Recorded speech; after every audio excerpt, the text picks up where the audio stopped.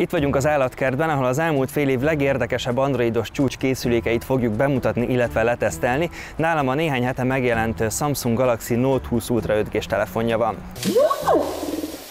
Nálam van a OnePlus 8 Pro, ami Magyarországon az egyik legkevésbé elterjedt csúcskategóriás készülék. És nálam pedig a Huawei P40 Pro, amire nagyon kíváncsi voltam, hogy a szoftveres háttere miatt hogyan lehet vele együtt élni.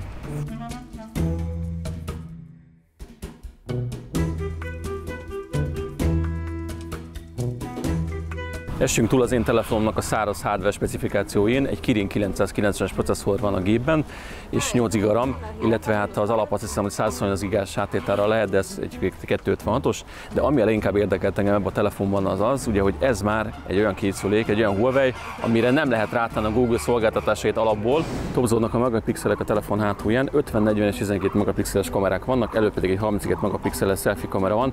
Hát ezt egy kicsit én OP-nek tartom, vagyis túlzásnak, hiszen ugye tudjuk, hogy nem a megapixelekből áll sokszor egy mobil esetében az, hogy milyen képet csinálunk, hanem a szoftveres képfeldolgozáson.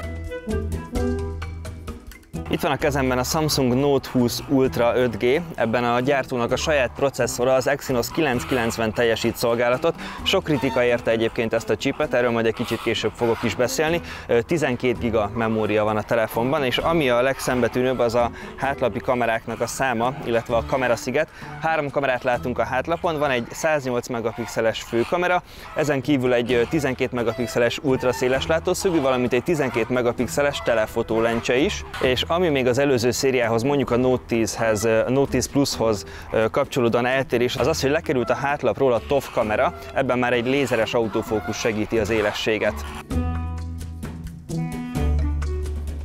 Ennek a telefonnak a processzora az egy Snapdragon 865-ös, ami eléggé jól pörög benne.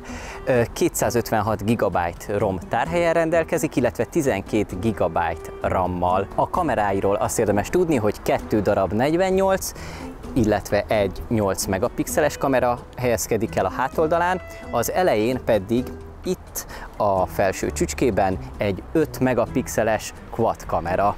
A képernyője pedig 120 Hz-re is képes, tehát nagyon szépen, nagyon gyorsan, nagyon gördülékenyen ö, fut a kijelzője. Gyönyörű ez az AMOLED kijelző, ami egyébként 6,78 incses.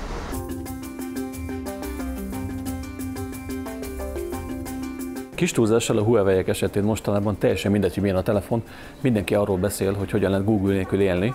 Na hát ezt én is kipróbáltam körülbelül egy hétig, és lehet élni, de valóban szokatlan egy kicsit azok után, hogy mennyire könnyű most már ugye mindenhez biztonságosan hozzáférni.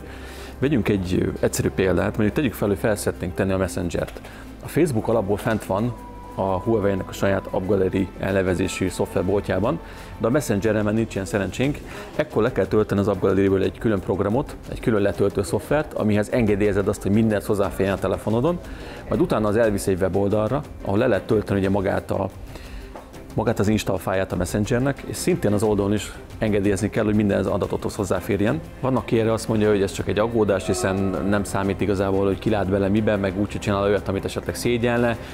Szerintem ez azért nem ennyire egyszerű, pláne a mai világban ott tudjuk, hogy milyen adatviszélések vannak, és azért kétszer is meggondolnám, hogy mondjuk egy random weboldalon a Huawei rendszerén keresztül mondjuk bankkártya adatokat meg akarok-e adni. Egyébként a telefon hardveresen teljesen rendben van, és attól függetlenül sokan összekeverik, Android fut ezen a telefonon is, ez az Android az egy open source, tehát bárki által hozzáférhető. Viszont állítólag jövőre végre jön a Harmony OS, mert azt is ki fogjuk próbálni, ez a Huawei saját fejlesztési operációs rendszer lesz, meglátjuk, hogy mit fog tudni.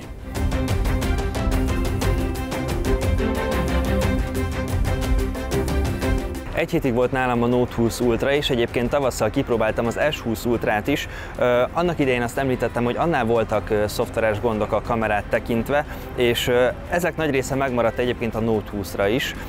Sokszor van olyan, hogy nem mindig sikerül oda fókuszálni, ahová én szeretnék, úgyhogy ezen van még mit fejleszteni, de egyébként, hogyha ha az ember jól komponálja be a képeket, akkor nagyon szuper képeket is lehet vele csinálni, de azért nagyon oda kell figyelni.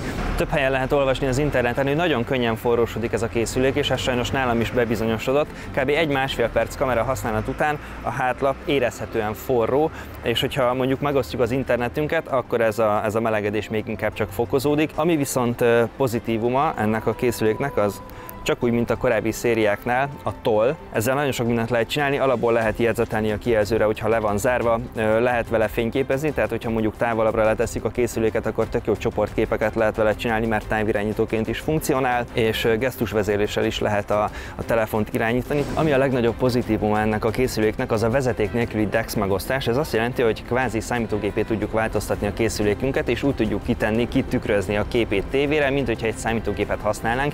Ilyenkor maga a telefon az átváltozik egy touchpaddá, és akár Bluetooth-on lehet külön billentyűzetet is hozzátenni, és a tévén tudunk számítógépezni vele. Időközben a tavalyi 10-es széria is megkapta ezt a funkciót, viszont nem mindegyik tévére lehet tükrözni a készüléket, ezt érdemes a gyártónak a weboldalán csekkolni, hogy éppen milyen tévével kompatibilis a funkció. Más a helyzet viszont, hogyha Windowsra vagy Macre szeretnénk számítógépre tükrözni a telefonunkat, ilyenkor uh, szimplán csak le kell tölteni ehhez egy programot, és már működik is. Nekem ez a telefon egyébként egy hatalmas, pozitív csalódás. Iszonyatosan gyorsan oldja fel a képernyőt a beépített új lenyomat olvasó, úgyhogy nagyon gyorsan reagál mindenre. Amikor gépelek, akkor iszonyatosan pontosan eltalálja a betűket.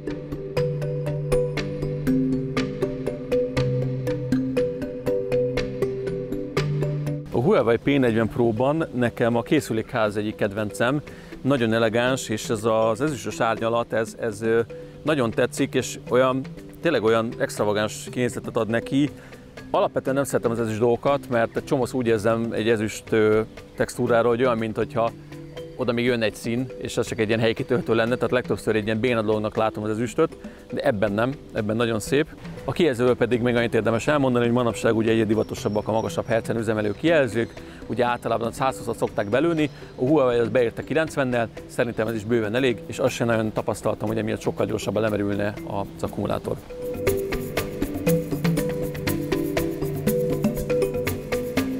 A képernyő frissítésnél eldönthetjük, hogy 60 Hz vagy 120 Hz dolgozzon a kijelző, viszont ez csak a HD, illetve a Full HD felbontás esetén opcionális. Amit én észrevettem, hogy létezik az adaptív mód, ami magától szabályozza, hogy éppen 60 Hz vagy 120 hz működjön a kijelző, hogy ez nem mindig pontos. Tehát az ember azt gondolná, hogy, hogy amikor mondjuk csak egy beállítások menüben vagyunk, vagy mondjuk egy SMS-t olvasunk, akkor elég, hogyha 60 Hz megy a készülék. Na most én azt vettem észre, hogy ilyenkor is automatikusan átkapcsolja a 120 Hz-re, úgyhogy ezen is van még mit finomítani. Viszont a 120 Hz-ről tényleg azt lehet elmondani, hogy nagyon szép, gyönyörű képet ad a kijelzőnek, és minden animációt gördülékenyen lehet látni.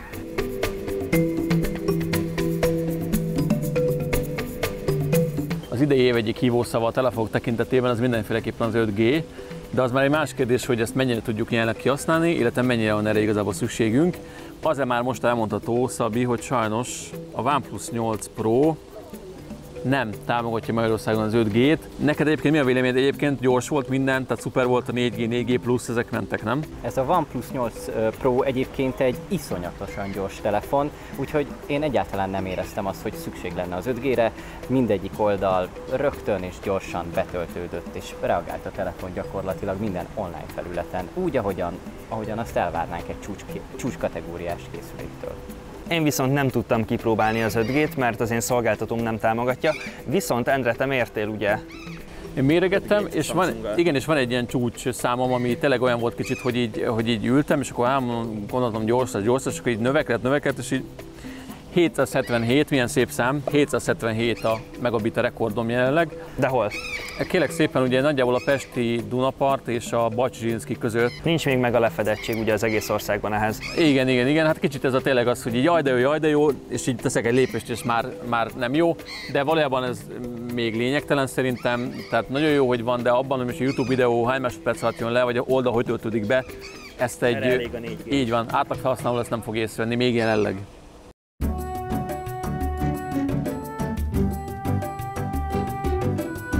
Akkor próbáljuk meg kitalálni, hogy melyik telefon csinálta ezt a képet. Ez szerintem a Szabi telefonja. Igen, nekem is az rémli. De egyébként nem rosszak, tehát én azt látom, hogy a, a Huawei nagyon éles, nem? Talán középen.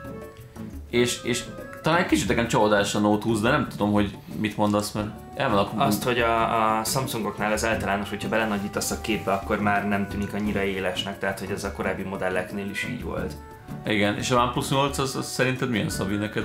Egy kicsit masszatos, egy kicsit sötét, De a miénk. De, de a miénk, igen, de a Huawei az, amelyik a Kicsit túl szaturált a tiéd inkább. A OnePlus 8 a legszélesebb, nézd meg, hogy mennyi játszik még balra az útból, akkor nem volt igazunk.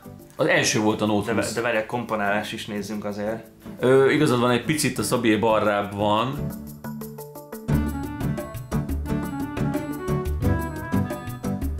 Na nézzük a portré módot. Ugye ezt rögtön meg tudom mondani, hogy szerintem ez volt a Huawei, mert az volt a legtávolabb, ha emlékeztek annak a portré módja, az nem közétett rá. Tévedtem, mert igen, mert ez sincs. Ez ennyi. biztos, hogy a, a Szabié, mert az volt egy kicsit ilyen homályosabb, és ez De volt ez a Huawei, tényleg, Igen, tényleg. és a legelső volt a Samsung. Igen, így van, így van, ez nem is kérdés, és hát a OnePlus itt egyértelműen a legrosszabb, az messze egyértelmű, és a legszebb a Note 20, az is egyértelmű. Igen. De különös, hogy az előzőben a Huawei élessége után mennyire most nem. Na mindegy, nézzük ezeket a flamingókat. E, Biztos, hogy ez a második a, a Note, mert emlékszem, hogy a madárnál vártam, hogy szétegye a szárnyait. Ez is tűéles, ez a Huawei-nek mondanám, de aztán lehet, hogy nem. És akkor lehet, hogy az első volt a OnePlus. Na nézzük megint, itt megint állítsuk meg egy Nem, az pillanatra. első volt a Huawei. Igen. Egy egy színben vannak a telefonok. Talán a, a szín az, ami, hogyha megnézzük a Huawei, egy picikét ilyen szürkésebb, Igen. és a többi egy kicsikét élénkebb a, a Igen. szín. Ott a fű, fű zöldjénél lehet látni az eltéréseket. Vakuzni itt nem illik az állatok védelme miatt, úgyhogy ki is kapcsolom.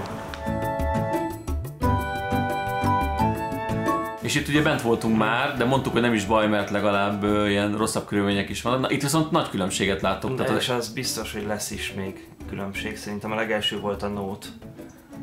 azt gondolod? Pedig az volt a legcsúnyább szerintem. Hát Pont most. ezért. Na Nem. nézzük. Harmadik volt az. Aha. Nem, nem, nem, és a OnePlus volt a legrosszabb. Egyszerűen a szőrén látszik, hogy sokkal homályosabb bent, mint a többi, nem? Igen, ez, amit itt látunk a gorillánál, ez gyakorlatilag egy, egy ilyen átlagos szoba körülmény, egy esti szoba Igen. körülmény. Ez a két nagyon jó. Igen, itt van a National Ezt tudom, hogy az Ez enyém volt. Mert- igen, az igen első ez, pedig szerintem az enyém. itt ugye nem tudtunk hasonló fotókat csinálni, mert hát ugye a Gorilla nem volt annyira partner. A Huawei jobban teljesít gyengébb fényviszonyoknál, azért ez kimondható. A OnePlus meg olyan, mint amikor a helyen, amikor a nagylábot lefotózzák Amerikával, és akkor így ott megy valami. Igen, egy, egy igazi Loch Nessi fotó. Igen, igen, igen. Jó, de azért tegyük hozzá, hogy ezeket mi most mindegy hatalmas képernyőn nézzük, és úgy hasonlítjuk össze, míg a telefon képernyőjén azért sokkal kevésbé látszódtak az eltérések. Így van, és itt ismét egy ilyen szélesebb dolgot látunk. Ez, ez majdnem biztos, hogy a Note, mert nagyon széles. Szerintem a legelső volt a Note. Akkor ennyire más képeket csináltunk lehet. Csak nem, nem ugyanazok a képek lettek berakva. Nem, nem, nem, a, vagy de, az első volt a Note, igen, az első volt a Note. De igen, de a második képet mutasd meg, Léci, mert az sokkal szélesebb volt, és ugye itt azt beszéltük, hogy, hogy, a, tehát, hogy belezoomolunk. Na, hát Vagy csak akkor, akkor elmozdult a teve? I- igen, igen, Hát mert messzebb az voltunk. Igen. de ez is megint érdekes, hát esküdni mennék, hogy a Huawei volt a szürke. Emlékeztek, a, amikor a flamingókat néztük? Igen. Szóval ez, ez Viszont ha megnézed a kisebb tevét, az már sárga a barna helyett. tényleg, tényleg túl van. Szóval, hogy a barnában viszont a OnePlusnak van a legjobb színe szerintem a, a hátteret tekintve. Na megnéztünk mindent, akkor neked végül is melyik tetszett a legjobban? Egyáltalán lehet győztest hirdetni?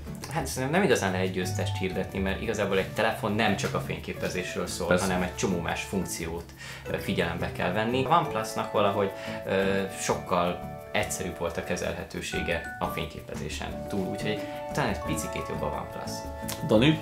Egy tavalyi modellt használok, és azt gondolom, hogy nincs annyi fejlődés egy év alatt, hogy érdemes legyen lecserélni az éppen aktuális csúcskészülékre, úgyhogy maradok a Samsung modellon, de nem, nem érdemes szerintem váltani. Nagyjából, amiket elmondtak itt a srácok, az is arra enged következtetni, hogy elértünk egy olyan szintet a telefonokban, hogy igazából mindegyik jó, mindegyikkel lehet együtt élni, és nagyon kevés különbség van, legtöbbször ízlés dolga, úgyhogy bátran válassza mindenki azt, amelyik tetszik neki, és nagyon hatalmas különbség nem lesz.